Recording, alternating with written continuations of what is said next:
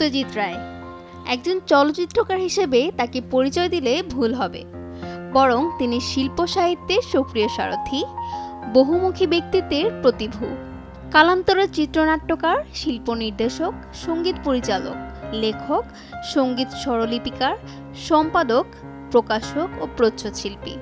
এত গুণে গুণান্বিত এই শিল্পীর জন্ম হয়েছিল উনিশশো একুশ সালের দুই মে কলকাতায়। বাংলা সাহিত্যের সেরা লেখক সুকুমার রায় চৌধুরীর একমাত্র সন্তান ছিলেন তিনি। সত্যজিতের সাথে বাংলাদেশের সম্পর্ক কিন্তু আদিকাল থেকেই। পূর্বপুরুষের হাত ধরেই এই যুবক এদেশের সাথে গেঁথেছিলেন এক সুতোর গাঁথনি। তার আদি পৈতৃক ভিটা বর্তমান বাংলাদেশের কিশোরগঞ্জ জেলার কটিয়াদি উপজেলার মৎস্য গ্রামে। সত্যজিতের পিতামহ উপেন্দ্র কিশোর রায় চৌধুরী এবং বাবা সুকুমার রায় দুজনেরই জন্ম হয়েছিল সেখানে। কিশোরগঞ্জের সেই জীর্ণ ভিটাটি এখনও হয়তো ইতিহাসের সাক্ষী হয়ে ঠায় দাঁড়িয়ে রয়েছে।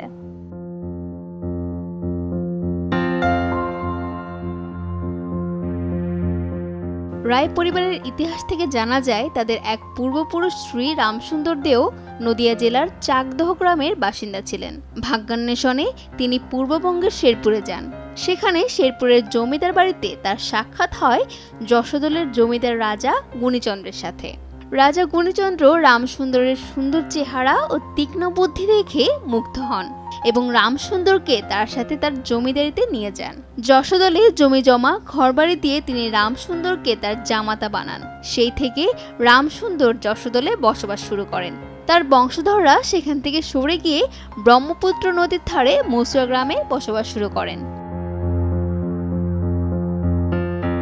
পূর্বপুরুষ বাংলাদেশে হলেও সত্যজিতের বড় হওয়া কলকাতাতেই, তবে পিছুটান্ত থেকেই যায়। মুক্তিযুদ্ধের পর উনিশশো বাহাত্তর সালে বাংলাদেশ ছাত্রলীগের আমন্ত্রণে স্বাধীন বাংলাদেশে প্রথম ও শেষবারের মতো আসেন সত্যজিৎ রায়, যার উপলক্ষ ছিল একুশে ফেব্রুয়ারি শহীদ দিবস স্মরণে একটি সাংস্কৃতিক অনুষ্ঠান, যেখানে তিনি প্রধান অতিথি হিসেবে অংশ নিয়েছিলেন। সেদিনের পল্টন ময়দানে প্রধান অতিথি হিসেবে রাখা ভাষণে বেশ আবেগাপ্লুত হয়ে পড়েছিলেন তিনি। ভাষণের পুরোটা সময় তিনি বাংলা ভাষা ও বাংলাদেশের প্রতি তার ভালোবাসার প্রচণ্ড বহিঃপ্রকাশ ঘটান। এছাড়া তিনি তার বাপ দাদার ভিটায় নিজের পাঁচ বছর বয়সে মায়ের সঙ্গে একবার এসেছিলেন সেটাও জানালেন। ভাষণের এক পর্যায়ে সত্যজিৎ রায় প্রতিশ্রুতি দেন যে তিনি আবার আসবেন এই দেশে, মিশবেন দেশের জনগণের সঙ্গে। ভাষণের শেষে সত্যজিৎ রায় জয় বাংলা বলে সমাপ্তি করেন। তবে নানা পরিস্থিতিতে সে ইচ্ছে আর বাস্তবে রূপ নেয়নি। সেই সংক্ষিপ্ত বাংলাদেশ যাত্রায় বঙ্গবন্ধু শেখ মুজিবুর রহমানের সঙ্গেও দেখা করেছিলেন তিনি। একসাথে হয়েছিলেন ফ্রেমবন্দিও তার শিল্পের জাদুর ছোঁয়া পড়েছিল দেশীয় চলচ্চিত্র। তার সিনেমার নায়িকা হয়েছিলেন দেশের মিষ্টি মেঘাত্ম নায়িকা ববিতা। তখন ববিতার বয়স মাত্র ষোলো বছর। ববিতা সুচন্দাকে নিয়ে কলকাতায় যান সত্যজিৎ রায়ের সঙ্গে দেখা করতে। এরপরেই উনিশশো তিয়াত্তর সালে মুক্তি পায় ববিতা অভিনীত অশনের সঙ্গে সিনেমাটি। উনিশশো সালে বার্লিন আন্তর্জাতিক চলচ্চিত্র উৎসবে অশনির সঙ্গে সেরা চলচ্চিত্র ক্যাটাগরিতে গোল্ডেন বিয়ার পুরস্কার পায়। উৎসবটিতে ছবিটির পরিচালক সত্যজিৎ রায় এবং তার সঙ্গে ছবির শিল্পীরা আমন্ত্রিত হয়েছিলেন। সে সময় জার্মান তখনও বাংলাদেশকে স্বীকৃতি দেয়নি। ছবির নায়িকা বাংলাদেশি হওয়ায় ববিতাকে আটকে দেওয়া হয়েছিল বিমানবন্দরে। তখন ববিতা একেবারে কেঁদে কেটে অস্থির। সত্যজিৎ বলেন, আমার নায়িকা যেতে পারবে না, এটা কোনোভাবেই হয় না। অবশেষে আয়োজকদের সঙ্গে কথা বলে দেশটিতে ঢোকার অনুমতি পান ববিতা। সত্যিকারের ক্যাপ্টেন অব দ্য শিপ একেই বলে। তবে মুক্তিযুদ্ধ ও শেষ সময়ের সিনেমা নিয়ে সত্যজিৎ রায় ছিলেন বরাবরই বিতর্কিত। মুক্তিযুদ্ধ নিয়ে তিনি বরাবরই ছিলেন নীরব। তার কোনো সিনেমাতে জায়গা পায়নি বাংলাদেশের মুক্তিযুদ্ধ। কিন্তু কেন সেটা কারোই জানা নেই।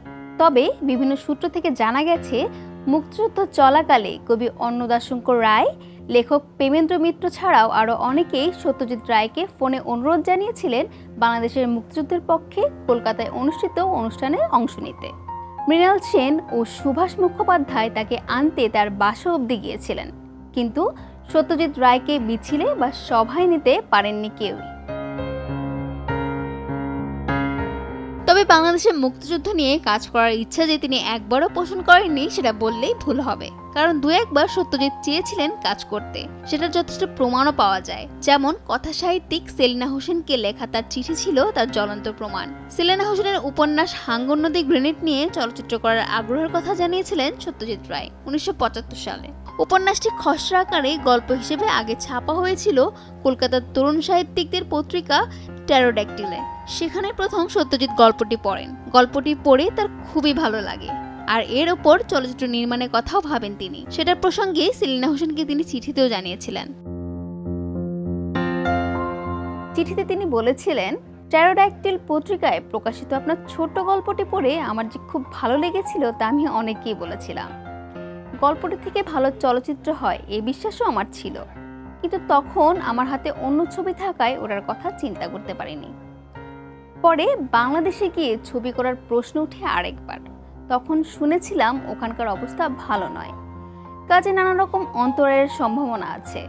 সুতরাং পরিকল্পনাটি স্থগিত থাকে। এখন আমি আমার অন্য ছবির কাজে জড়িয়ে পড়েছি। কবে মুক্ত হব জানি না। এ অবস্থায় আপনাকেই বা কীভাবে গল্পটা ধরে রাখতে বলি তাও বুঝতে পারছি না। সংশয় হয়, অন্য কারও হাতে পড়লে এমন চমৎকার গল্পটি হয়তো যথাযথভাবে চিত্রায়িত হবে না। সেই বিষয়ে যদি আপনি নিজে পছন্দ করে কাউকে গল্পটা দিতে পারেন, তাহলে আমার কিছু বলার থাকে না। এ ব্যাপারে আপনি যা ভালো বোঝেন তাই করুন। এ আমার অনুরোধ।